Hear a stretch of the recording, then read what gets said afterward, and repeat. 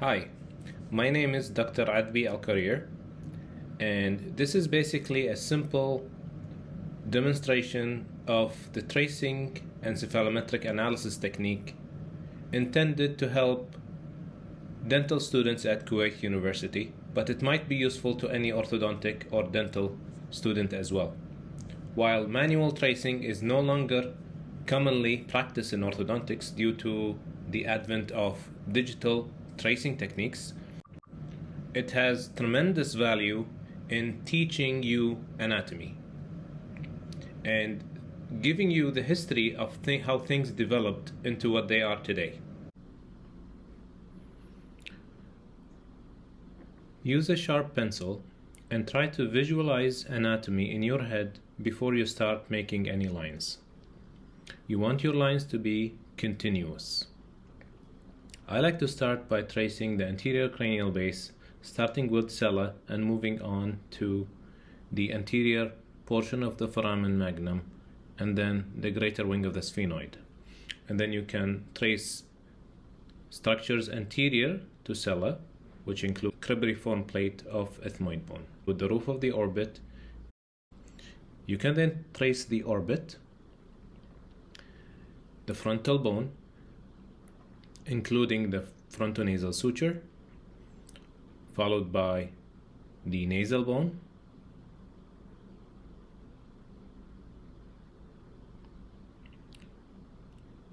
and then you can move on to the maxilla.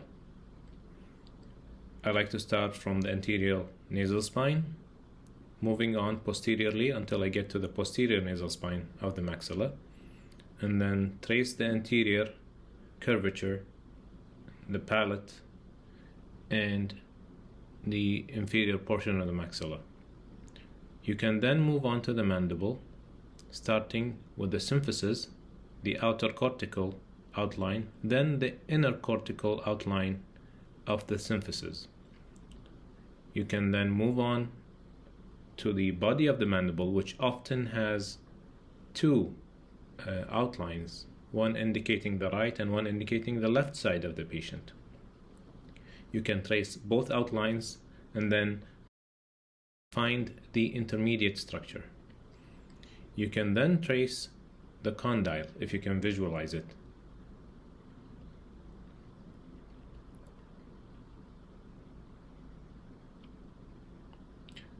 Upper and lower incisors can also be traced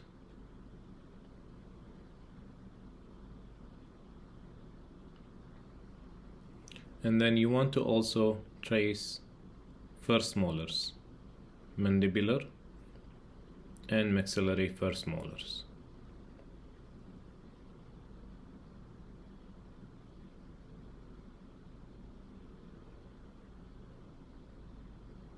you can trace the pterygomaxillary fissures which are just above the posterior nasal spine.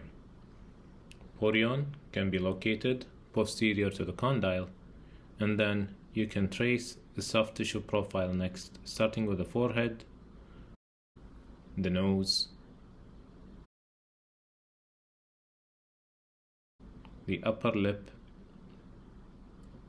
and then the lower lip and chin area.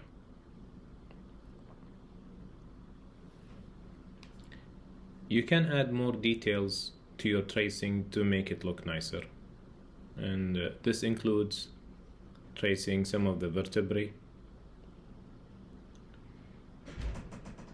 the key ridge, and the nares.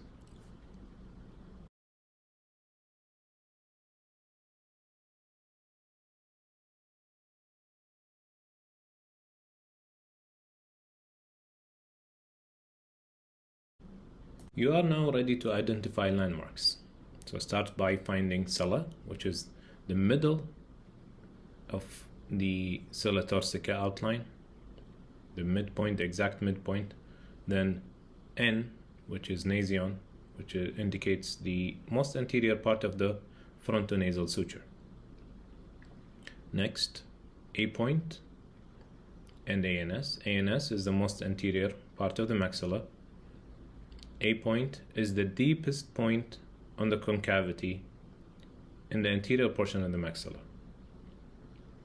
B point is the deepest point on the concavity of the anterior surface of the mandible. Pogonion is the most anterior part of the symphysis. Menton is the most inferior and in between the two you can find Gnathion. At the angle of the mandible, the midpoint of the curvature is gonion.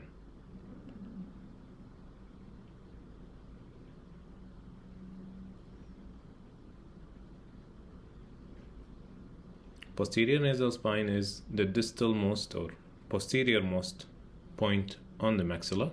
Orbitale is the inferior most point on the, the tracing of the orbit, and then porion is the top of the external auditory meatus outline. Articulare is just the um, intersection of the anterior cranial base with the outline of the ramus of the mandible. You can then start drawing your reference lines, starting with SN line. This is the first horizontal line in your tracing and you want to mark it as SN. You can also draw Frankfurt horizontal if you're using that in your analysis between Porion and Orbitale. And you mark that as well. Next, you have the palatal plane, which is drawn between posterior and anterior nasal spine. You have then, um, you can mark palatal plane as well. Next, you have your functional occlusal plane. And the easiest way to find it is by finding the cusp tips of premolars and molars and then bisecting these cusp tips with a line that basically passes between um, most of posterior teeth. So that's your functional occlusal plane, which is useful to check the inclination of the occlusal plane, but also to also do your width analysis later on, or width appraisal. The mandibular plane can be drawn different ways. The way we're doing it in Kuwait University is by using Gonion and Gnathion. So you connect Gonion and gnathion with a line, and this is considered mandibular plane.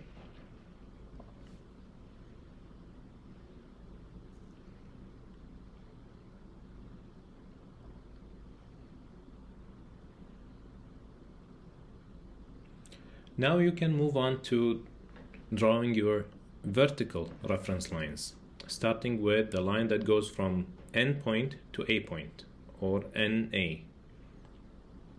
This line is useful to check the position of the maxilla.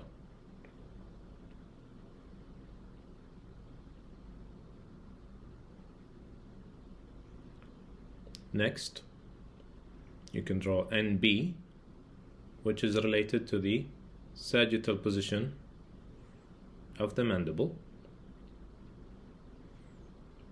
You can always mark these lines to make it easy to recognize which is which.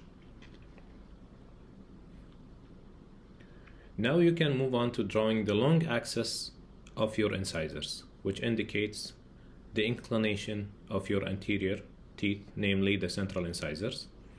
So you can draw with, uh, start with the maxillary incisors, you can call that max 1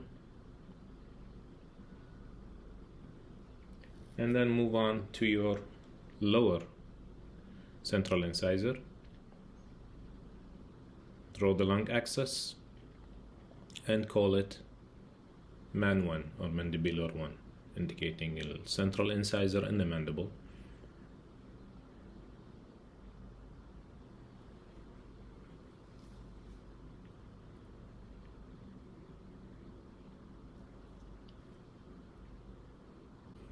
So the last line to draw is the E line as described by Ricketts which indicates which runs between the tip of the nose and soft tissue pogonion and it is used to uh, judge the lip position. Next, you can start measuring the different angles and linear measurements. You want to position your protractor in such a way that one line is uh, fits the SN line and then the other one, the movable one, you can move to fit NA.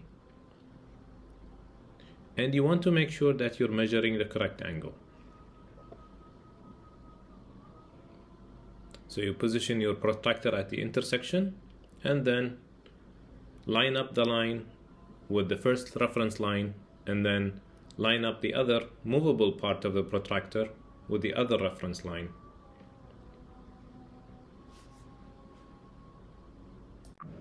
Sometimes the reference lines do not intersect. So to get around this, you use the series of parallel lines that are on your protractor. What this is doing basically it's it's almost like you're moving one of the reference lines next to the other so that they would intersect. You can then place the center of the protractor on the other line and start measuring the angle the normal way